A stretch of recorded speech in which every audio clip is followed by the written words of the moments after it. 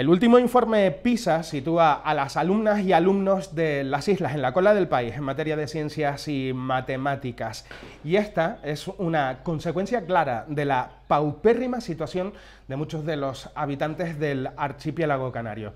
Los bajos sueldos, los contratos en precario y los datos de paro de las islas hacen eh, entender que nuestras chicas y chicos lo pasan mal de muchas maneras asisten a la situación precaria a la que están abocados sus progenitores. Los datos de pobreza en Canarias afirman que la mayoría son mujeres con menores a cargo. 210.000 personas buscan empleo en el archipiélago canario. La mayoría son mujeres. ¿Acaso no es esto violencia institucional en toda regla? Parece que nuestros servidores públicos, repito, servidores públicos, creen que aquí no hay ningún problema ético, ni moral, ni nada de nada. Pues esta situación de pobreza sistémica no es nueva. Muy mal por todos aquellos que han estado, están y estarán representándonos a todos y con responsabilidades en todos los niveles, los que se oponen y los que mandan. Muy mal por todos ellos. Canarias sigue siendo una región rica de gente pobre. Por último, debemos dar un gigantesco aguacate de oro, nuestra gran alabanza, a la iniciativa de la Fundación Loro Parque, que en la Rotonda de las Dehesas, municipio de Los Realejos, han instalado una cultura sobre el proyecto Bye Bye Plastic. Buscan concienciar sobre el dramático impacto del plástico en nuestros océanos, en nuestro planeta y en nuestras vidas. El pasado miércoles se dieron cita en la Rotonda de las Dehesas representantes municipales y del grupo Loro Parque. Estaban allí el alcalde de Los Realejos, don Manuel Domínguez, el presidente del grupo Loro Parque, don Wolfgang Kisling, y el vicepresidente de este grupo, don Christoph Kisling. Muchas felicidades a Loro Parque y todo su grupo por contribuir a esta causa. Acabamos este microespacio con tres eh, pestazos que nos llegan, que nos, nos huelen mal. ¿Quién vigila a los vigilantes de un municipio turístico del sur? Policía local enloquecida con dineros y haciendo lo contrario a lo que se les supone que deben de hacer. Otra cosa, Dirección General de Costas, ahora denominada de, de otra forma está sembrando el caos y provoca inseguridades jurídicas en el archipiélago canario y en todos los sectores, no solo en el, turístico. Por último, todo nuestro apoyo a los vecinos desalojados de Wimar y también al alcalde de esta localidad por esta decisión que han tomado al estar viviendo el archipiélago una situación de prealerta por lluvias y vientos fuertes. Por cierto, un guiño muy especial también desde este editorial de la tertulia de Canal 10 a todos los compañeros de Mírame Televisión que este próximo 20 de diciembre pondrán en marcha su telemaratón solidario en la Plaza del Adelantado de la ciudad de La Laguna. Canal 10 Televisión también es telemaratón solidario. Así comenzamos esta edición número 11 de la tertulia de Canal 10.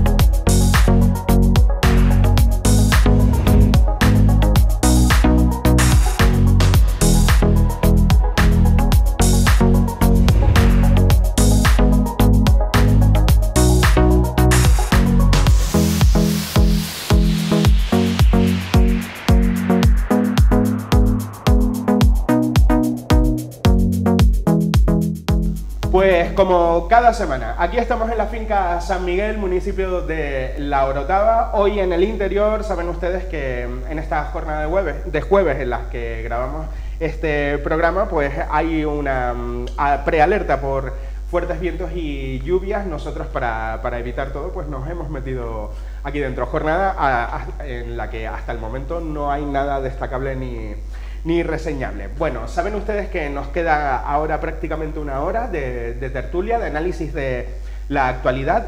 Y recuerden también que eh, hemos cambiado el horario. Estamos aquí cada jueves a partir de las 9 y media de la noche en la TDT para el norte y el sur de la isla de Tenerife, Canal 10 Televisión. Ha llegado el momento de saludar a nuestro equipo titular de Contertulios. Vamos con Saida González del Partido Popular. Saida, buenos días, buenas tardes, buenas noches. Muy buenos días, buenas tardes, buenas noches y gracias por haberme invitado otra, otra semana más. Es un placer estar contigo, contigo aquí cada, cada semana. Saludamos también a Lázaro León del Partido Socialista. Lázaro, buenos días, buenas tardes, buenas noches. Buenos días, buenas tardes, buenas noches. Agradecerte la invitación y a mis compañeras de tertulia. Muy bien, es, todo un placer que, estés aquí con nosotros compartiendo. Y saludamos eh, por segunda vez en la historia de este programa a Flora Marrero de Coalición Canaria. Flora, buenos días, buenas tardes, buenas noches. Bueno, reitero los saludos y, y también agradecer una vez más la invitación. Nada, es para nosotros un placer que estés aquí con, nosotros para aportar ideas al, debate. Bueno chicos, vamos directamente, tenemos un bloque de 25 minutos, mm, tema 1, termitas. El Cabildo de Tenerife va a destinar 9 millones de euros para erradicar esta plaga. Han aparecido nuevos focos subterráneos alejados de las zonas conocidas hasta el momento en, en Tacoronte y la laguna también se ve afectada por esta plaga en la zona de Valle de Guerra. Finalmente eh, se ha decidido ya cuál es el tratamiento que, se va a dar eh, para, intentar erradicar esta, esta plaga. De esto hablábamos contigo, Saida, ¿verdad? Que eh, pues miembro del Pleno del Cabildo Insular de Tenerife y habías hecho preguntas acerca de esto, ¿no? Efectivamente, que nunca me contestaron, por cierto. ah, no, claro, es que nosotros lo habíamos dejado pendiente ahí, nunca me, jamás te contestaron. Me dijeron que cuando lo supieran me contestarían, pero al final, como, como es habitual, te enteras por prensa, ¿no? Y el, eh, bueno, la cuestión que yo planteaba es que eh, entre los dos productos a utilizar, el hexaflumurón y el difluvensurón, eh, pues el hexaflumurón... ya te lo aprendiste. Claro, es que son complicaditos los nombres, hay que practicarlo un rato. pero, pero no es menos cierto que de toda la información, bueno, pues el Cabildo ha actuado por el hexaflumurón y, y bueno, la cuestión que me hubiera gustado preguntar en tiempo y forma eh, es que el hexaflumurón eh, ha sido aceptado hace, en el 2015 fue autorizado por la, por la Comunidad Europea a través de un reglamento donde ese mismo reglamento determina que, bueno, que es eh, muy tóxico, que tiene mucha bioacumulación, establece una serie de, medidas para, para, bueno, pues contener ese tóxico y que, y que, bueno, que en cinco años y esos cinco años de vigencia de esa autorización finalizan en el 2020, pues mi pregunta era, bueno, pues si el hexaflumurón tiene estos problemas y el difluvinsurón, eh, bueno, pues es una sustancia que no tiene esos problemas, que también es válida para, para su uso y además es más inocua, ¿no? es más inocua, no tiene, no tiene acumulación medioambiental, eh, no es tan tóxica, pero sí que es tóxica para, para, para las termitas, ¿no? Y también se ha, comprobado que, que bueno, que, que tiene su, eh, su valor, ¿no? Y, bueno, pues eh, no me ha sido respondido, sino que, que bueno, lo que se me dijo en, comisión plenaria es que el hexaflumurón eh, se utiliza en dosis más bajas, claro, obviamente es más tóxico, eh, y que bueno, que han optado por esa vía. ¿no? Yo lógicamente no tengo los criterios técnicos, lógicamente, para discutirlo, pero sí que ante la documentación que he visto, que no cabe duda que el hexaflumurón es más tóxico que el difluensurón, y máximo, máximo cuando se va a utilizar en terrenos de cultivo, pues eh, bueno, me hubiera gustado una mejor y mayor explicación a la hora de por qué se había utilizado, se ha optado por uno y no por otro, y no por su mayor toxicidad, lógicamente. Claro. Lázaro. Sí, yo hablo, en este caso, no por fuentes del suelo, yo creo que no es cuestión de Pedro Martín, ni de Arriaga, ni del equipo de gobierno, sino los técnicos son los que avalan esta medida. Pero hablo, por ejemplo, yo que tengo una buena relación con el alcalde de Tacoronte, me lo decía, y es que el problema es que hay técnicos que apuestan por uno y otros técnicos que apuestan por otro, del propio cabildo, incluso del propio ayuntamiento. Yo me imagino que al final se ha llegado a un consenso entre los técnicos y dirían que este es el más efectivo. Yo lo del tema del tóxico no lo voy a poner en duda, Saida está claro que está bien informada porque es parte del cabildo pero sí es verdad que me decían eso, que el problema no era ya un tema de políticos, sino que había unos técnicos que decidían uno y había otros técnicos que decidían el otro. Al final, si optaron por este, entiendo que es porque había un consenso entre los técnicos, que son los, los que saben de esto, y, han optado por ese. Flora. Pues yo me voy a quedar con, con, con una, una pregunta que le hice a un biólogo, lo que me dijo, ¿no? Porque yo le pregunté que porque, porque habíamos llegado a, esta situación, ¿no? Con, donde hay que hacer una inversión de 9 millones de euros, donde yo como lagunera tengo una preocupación de que las termitas no entren en el casco histórico, y donde ya, ya hay focos en el sur simplemente con mudanzas, ¿no? Se mueve, eh, nosotros nos mudamos al sur con los muebles de aquí del norte, tienes un foco de termitas y ya está el lío montado. Y me dio una respuesta muy simple, y lo digo en relación a lo que acaba de decir Lázaro de las opiniones de los técnicos. Digo, bueno, como las termitas ah, hemos llegado a esta situación tan lejos y no hemos podido afrontarla? Y la respuesta que me dio es porque están organizadas. Y, nosotros, no. Exactamente. Eh, lo digo con toda la gravedad, con toda la rigurosidad y con toda la seriedad. Es decir, eh, es preocupante que, tengamos que invertir 9 eh, millones de euros cuando se podía haber atajado desde un principio, simplemente porque no estamos haciendo lo que están haciendo los termitas. Y lo digo con toda la seriedad del mundo, porque no están, porque no estamos organizados. Eh, todavía Saida, que lo ha hecho muy bien y de manera muy brillante y soy incapaz de repetir, los,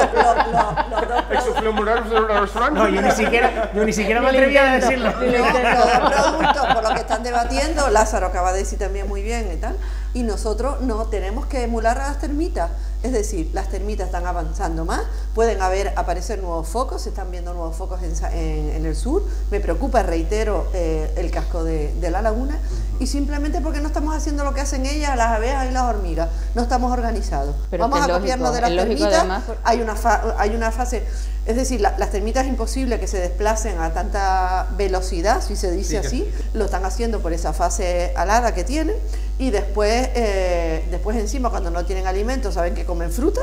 Eh, y sobre todo porque después está la fase de cuando con las mudanzas que no hay un control de las mudanzas en este momento y es, lo, es cuando puede haber eh, el, nuevo foco. Yo soy vecino de Tacoronte y ya hemos contado en otras ocasiones que a casa han llegado, yo vivo en el, zona centro de Tacoronte y a casa han llegado termitas aladas, ¿no? entrando, entrando por la, por la ventana. Em, aquí a lo mejor hay otra cuestión de fondo también. ¿No la has podido entrevistar? ¿Eh? No, porque fue tanto el asco que me dio que primero pensé que era una hormiga gigante. Pues yo tengo, yo tengo, tengo un vídeo, me mandaron un vídeo de, de, las de, la, de las termitas saliendo del tronco de un árbol y, bueno, pues si quieres te lo, sí, no, no, envío porque es digno de ver, ¿no? Pero, pero no es menos cierto que efectivamente las termitas solo tienen un objetivo, reproducirse y crear nuevos termiteros, mientras que nosotros tenemos una normativa que lo hace imposible, o sea, hace imposible ser, eh, ser ágiles. Primero porque, bueno, cuando se encuentra en en zonas de, privadas, pues lógicamente el ayuntamiento no puede intervenir. Cuando ya de las zonas privadas, eh, bueno, pues saltó a los espacios públicos y ya la, bueno, la infectación de, esta, de esta termita, que es, de, una termita de fuera, como, bueno, como ya que, todo el mundo sabe, ¿no? Es una termita de fuera que no es de aquí y es una termita pues mucho más agresiva. Y que han encontrado aquí las condiciones perfectas para reproducirse. En Canarias las condiciones generalmente son perfectas para, muchas cosas, incluso para ellas. y, y bueno, claro, pues en, este ida y vuelta de, bueno, pues vamos a ver eh, qué tipo de plaga es, cuándo, cómo está, cómo está la infestación entre el ayuntamiento, las competencias del ayuntamiento, las competencias del cabildo, el ayuntamiento no tiene eh, capacidad económica para hacerle frente, luego que no se sabe el producto a utilizar, luego que, ya te digo, si se hubiera explicado, porque no es una duda que se me plantea solo a mí, yo, yo traslado esa, esa duda acerca de la toxicidad del hexaflumurón con, eh, con, respecto al difluvensurón, porque estamos hablando de terrenos de cultivo, que, que, bueno, que la gente tiene sus huertas y tal, y tienen el miedo de afectadas, eh, o sea, donde está el terreno está la casa al lado. Exactamente, pero bueno, oye, dices tú, es más tóxico uno que el otro, pero uno se va a utilizar en la zona urbana, que es decir, no va a afectar a terrenos, no va a afectar a nada, oye, pues mm, utilícelo usted en la cantidad y, que, que, estime usted oportuna, pero en terrenos, en terrenos pues lógicamente yo creo que, la, que, se necesitaba un poquito más de información para ver por qué se había optado eh, por, el, por el producto más tóxico. ¿no? Bueno, pues eso es lo que estamos haciendo ahora.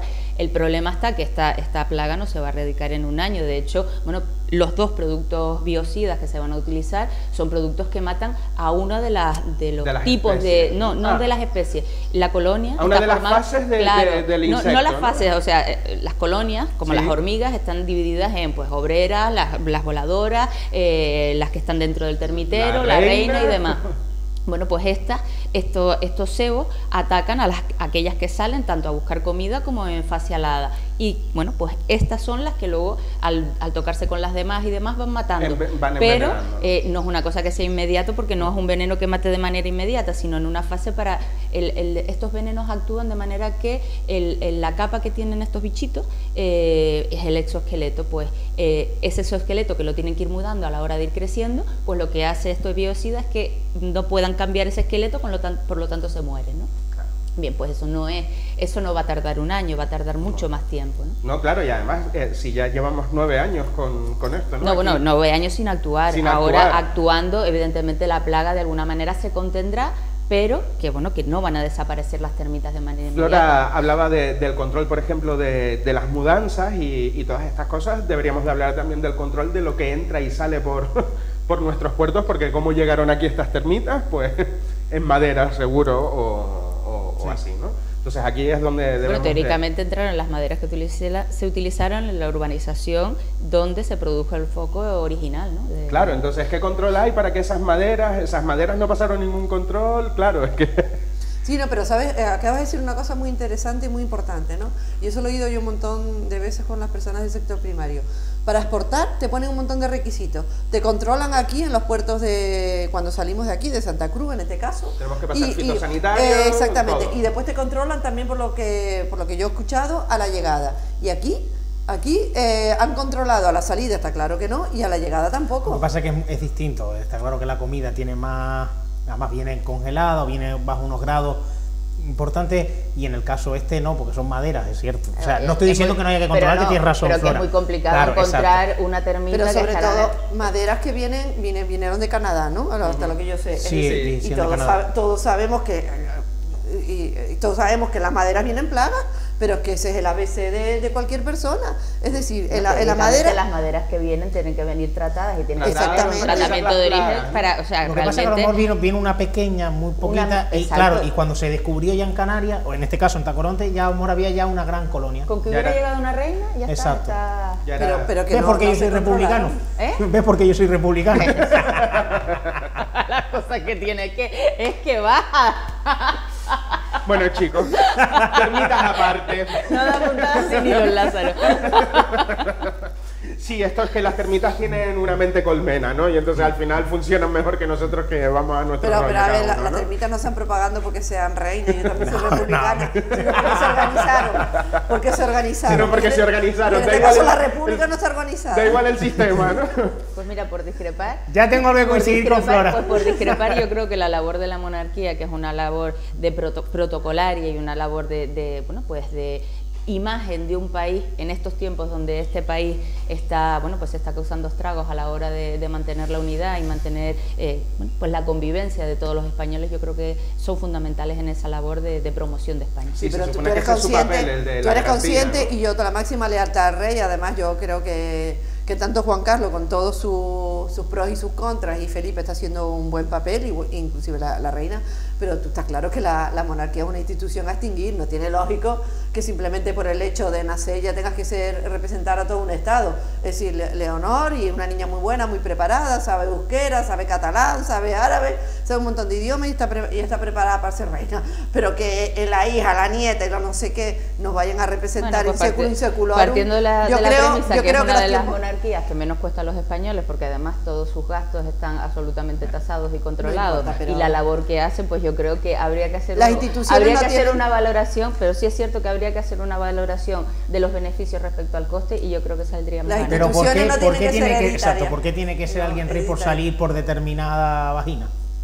poner un ejemplo. no, no, no, tiene que ser hereditaria, es, un tema... Yo creo que, por lo menos que se decida. Que la, a ver, que, que factura del Estado tiene que haber, ¿no? En eso estamos todos de acuerdo, ¿no? Por lo menos que lo decidan los ciudadanos, ojo. ¿Qué, ¿qué tipo de jefatura? bueno, pues ya es donde está. Y no me vale que digan que no, que ya se votó, porque se votó porque era o lo malo o lo menos malo. Es decir, o era o seguir con la dictadura o apoyar al rey. No, no, Ojo, que el rey ha jugado un papel.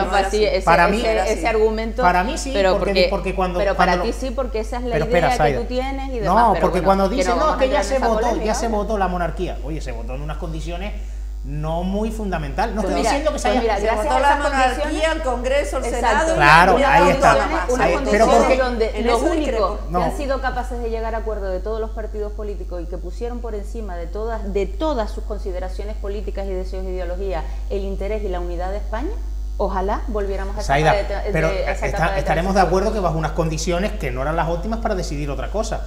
¿No fueron las Recuerda óptimas las palabras- ¿Fueron las óptimas para decidir tantas que la constitución que aprobaron?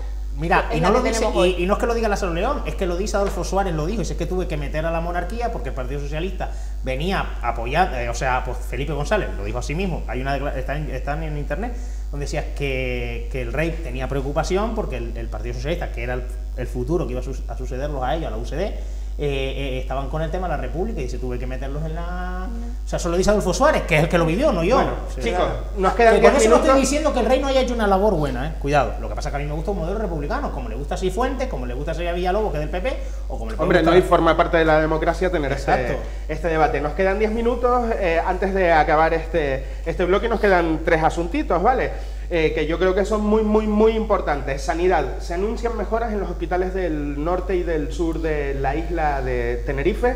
Atención de urgencias pediátricas, dos quirófanos de cirugía mayor ambulatoria, hospital polivalente y funcionamiento de resonancia magnética para el Hospital del Norte, es lo que hemos conocido esta semana. Para el centro del Mojón se prevé la puesta en marcha de 300 nuevas camas, 18 quirófanos y su desvinculación administrativa del Hospital Nuestra Señora de la Candelaria. De esta manera, el Hospital de- del Sur tendría un presupuesto propio. Se anuncia también la incorporación de las especialidades de, pedi- de pediatría y nefrología. Bueno, anuncios hemos vivido muchos. ¿Serán estos los definitivos? Yo creo que en el caso del Hospital del Norte y del Sur, o mal llamado Hospital del Los Norte. no por- hospitales. Exacto. Pero todavía el del Sur está mejor, que eso ya lo hemos hablado. Eh, yo creo que hay que incrementar la partida presupuestaria del gobierno de Canarias, Cabildo y demás, ya por meter dinero, está claro, apostar por eso, para descongestionar la carretera. Es decir, todos los días nos quejamos de las colas, pero tú imagínate quitarle a los pacientes del norte ir a Santa Cruz y después descentralizar, que eso también lo hemos hablado en determinadas tertulias. Sí, sí, no. Y las mujeres que, que- que- que- Lo que pasa que en que van a dar a luz, eh, cualquier, cualquier cuestión, o sea, es que Exacto. aquí hay un debate que es mucho más importante de fondo, ¿no? Y, que- y que se nos pasa muy, muchas veces por alto. Y es, eh, llega un punto en el que mm, no es que la vida sea más difícil para alguien que vive en el norte o en el sur, es que hay quien, es que a lo mejor por vivir en una zona determinada de la isla tienes más posibilidades de supervivencia que, que- que en otras, ¿no? Exacto. Esto es eso, injusto. eso, eso iba a decir, por ejemplo, que dio en Buenavista, pues, en el caso de que es la otra punta. Y luego el tema Es de- más, yo si me voy a mudar, esas- eso lo tendría en cuenta, ¿no? Bueno, pero porque en el norte se vive muy bien, es muy tranquilito. Más en Buenavista comes muchas papas, de las buenas, de bonitas, como Nico del Alto. Eh, el tema de pediatría sí que, por, por compañeros y amigos que tengo yo médicos, que dicen que el problema de pediatría no es un tema de dinero ni siquiera, sino que no hay pediatras. Es decir, no hay mucha gente formada en pediatra porque parece que acabas la carrera y luego tienes que hacer otros cuatro años, otros cinco años más. Sí, ese- eso. Lo, lo de Entonces, la carrera es tema de pediatría- médico es una Exacto. carrera de un maratón más que una Exacto. carrera, ¿no? Pues el tema de pediatría no sé cómo lo va a ser, está claro que ellos tienen los datos, la consejera y en este caso el, el grupo de gobierno, pero sí es cierto que hay una escasez de pediatras increíbles. Como la hay de secretarios de ayuntamiento, pues en este caso de pediatras también. de es verdad, interventores no hay escasez, ¿no? Sí, también, También. pero es que resulta que la comunidad que más aporta secretarios al Estado, que no estamos hablando de esto, pues siempre saltamos con cosas, es Galicia. Es decir, los más que aportan secretarios al Estado es Galicia. Y hay una escasez, pero en este caso en pediatras también, porque además es lo que dicen, oye, un médico amigo mío además me dice, oye, es que terminas la carrera y tienes que especializarte otros cinco años para pedi- con- Y es lógico, porque son niños pequeños, o sea, son bebés, etcétera, y no sabes por qué llora, porque lloran normalmente por Sí, sí, todo. no, no, no, es una especialidad eh, es, es específico, Y, ¿no? y Exacto. dentro de los médicos dirán, bueno, pues dentro de las posibilidades económicas y demás, y, y los riesgos que puede conllevar, la pediatría, eh, evidentemente ser pediatra tiene que ser vocacional absolutamente, Claro. básicamente porque es un riesgo total eh, trabajar con niños. ¿no? ¿no? Y, tener, y ten- para, y tener esa fortaleza emocional también Claro, y tal, son ¿no? Muchísimas cosas, son muchísimas cosas. Lora. No, a ver, hemos optado por, por un modelo que es totalmente diferente, por ejemplo, al de Las Palmas Gran Canaria. La- Las Palmas optó por un gran hospital y nosotros optamos por un por una apuesta pues descentralizada, ¿no? El Mojón del Sur que va a tener ya su gestión propia, ya no depende de, de la Candelaria, eh, y después el del norte y, y combinado con el con lo que llamamos nosotros hospital uni- universitario. Hay un, un factor que es importante, es decir, cuando tú inviertes en, en sanidad, eh, lo que inviertes, automáticamente si inviertes 100 millones de euros en un centro sociosanitario, el mantenimiento cuesta lo mismo cada año. y, y eso lo vimos con el, con el Hospital Negrín, que creo que su construcción costó como 5 mil millones, pero 5 mil millones es después lo que cuesta el mantenimiento cada año. ¿Qué quiero decir con ello? Que a la hora de planificar eh, no hay que pensar solamente, bueno, vamos a invertir y ya está, sino lo que, lo que acaba de decir después, dotarlo de, personal, que yo creo que es lo, más importante. En la gestión anterior, porque esto no deja de ser la herencia recibida, para lo bueno y para lo malo, eh, se dejó una planificación que se están viendo en los datos, entre otras cosas, la reducción de la lista de espera, y yo escuchaba esta mañana a la consejera de Sanidad que lo decía, y además mm, me pareció bien, oye, ha habido una reducción y ha habido un esfuerzo. Eh, de cara al futuro, ¿qué es lo que es importante desde mi punto de vista? ¿no? El tema del personal. Es decir, eh, es importante tener unas buenas instalaciones, importantísimo, pero, pero después también el, tener un personal, porque de, nada sirve de que tenga unas infraestructuras y que después no, lo tenga. Eh, con el tema del desplazamiento que dice, oye, para que las mujeres no vayan a dar a luz al, a, a, lo que es el área metropolitana. Ya pasó con el hierro, ¿se acuerdan aquella polémica de la unidad de diálisis y todo, toda esa historia, no? Pues al final los propios arreños preferían venir a, a, lo que era el área metropolitana que quedarse en el hierro. Lo digo como reflexión, porque pasa muchas veces. Yo tengo una, una amiga que, que va a dar a luz, que es del hierro, y ha tenido que, desplazarse aquí porque es embarazo de alto riesgo y le va a coincidir con las fechas de Navidades. Entonces, eh, digo yo que después en, determinados casos siempre eh, los dos hospitales de referencia van a estar, pero por un tema de lógica. Seguridad, de seguridad, lógicamente. No, pero a lo mejor también es verdad que.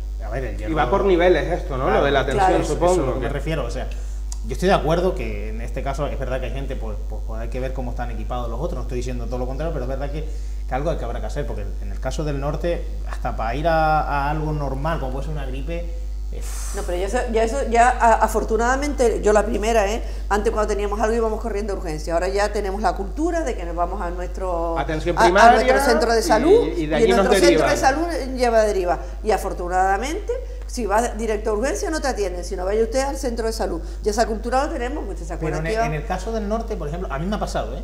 que a lo mejor llamo para si puedo ir al, centro de salud y me desvían a la urgencia directamente. Ah.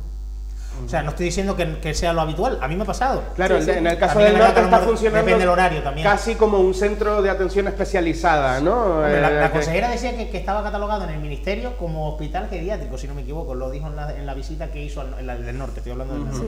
Entonces, yo estoy de acuerdo, es decir, eh, Flora tiene razón en que hay gente del hierro.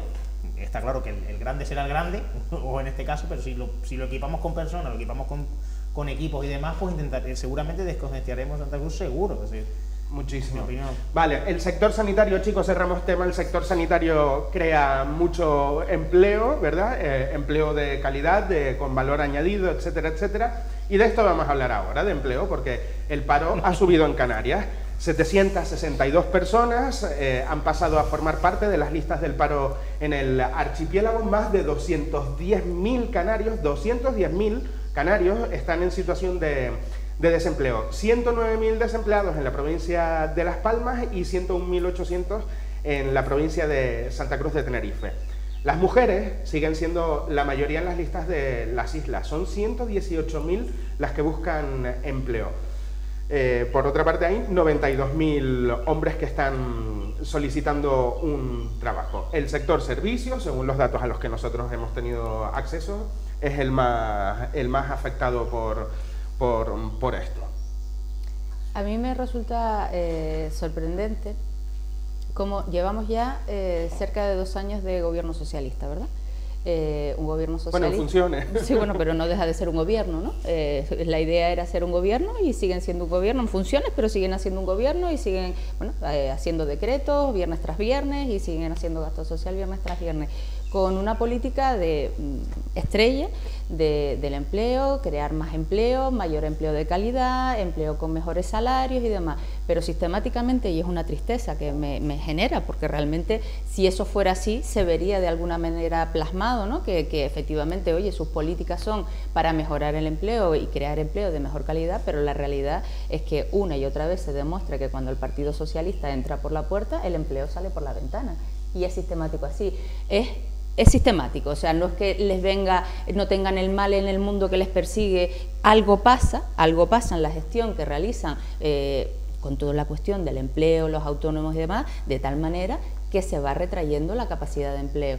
Eh, y a mí, sinceramente, me gustaría que no les pasara, pero es que pasa sistemáticamente. Y entonces yo creo que de alguna manera, eh, bueno, pues deberían replantearse todo lo que no están haciendo para favorecer la economía y la generación de empleo, porque lo que se está generando otra vez es, bueno, sistemáticamente se está volviendo a, niveles de paro preocupantes.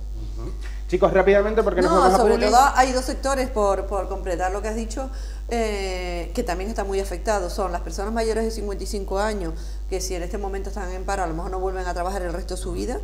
Y, sobre todo yo lo que he hecho de menos, eh, que, no he escuchado en este momento al gobierno de Canarias, ver la, las, las medidas o de impacto porque es que viene una recesión y ante una recesión tenemos que saber lo que va a pasar, es decir, eh, qué ahorros va a haber, qué planes de empleo, porque la gente necesita empezar a trabajar ya. Lo del sector servicio obedece directamente a la crisis del Thomas Cook, directamente donde, donde ya, está, ya se está viendo que va, ha venido un 10% menos de, de, turistas, creo que era la cifra, pero sobre todo con un poder adquisitivo menor. Es decir, los pocos que vienen, vienen un poquito por darse la vueltita por Canarias, por coger un pico de sol, pero son, pero son los que van a salir del Brexit.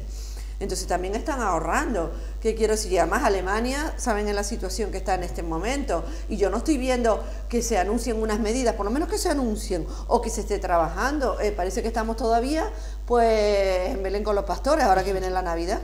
Y las pastoras. Sí, es verdad que siempre nos toca, eh, es como una maldición, ¿no? Sí, sí, la maldición. en las peores dificultades gobernar este país y en este caso, Hombre, no Canarias. Cae la casualidad que siempre les ha tocado una crisis. La crisis del Brexit, es la crisis, el Thomas es decir, y aún así en Canarias se sigue creciendo, se sigue el tema del. De, bueno, menos, mal, menos mal que reconoce que lleva gobernando, porque yo oigo a tus compañeros como que acaban de gobernar ahora. y que, ¿A, y que, ¿a dónde hablamos? ¿En Canarias o en el gobierno? No, no, yo en Canarias, tú lo acabas de. Llevamos cinco meses, ¿eh? No, no, hemos estado en pacto con ustedes, que yo sepa. pero es que, es que parece siempre he dicho lo mismo, gobernamos, eh, hemos estado el 20% de, de, vale, la Pero hemos estado en pacto. Pero yo quiero decir... Vale, no, no, porque me alegra que... Yo quiero decir una cosa a Saida en este caso, que a la que debo contestarle, porque siempre echa la... Dice que yo lo doy puntada sin hilo, pero yo tampoco.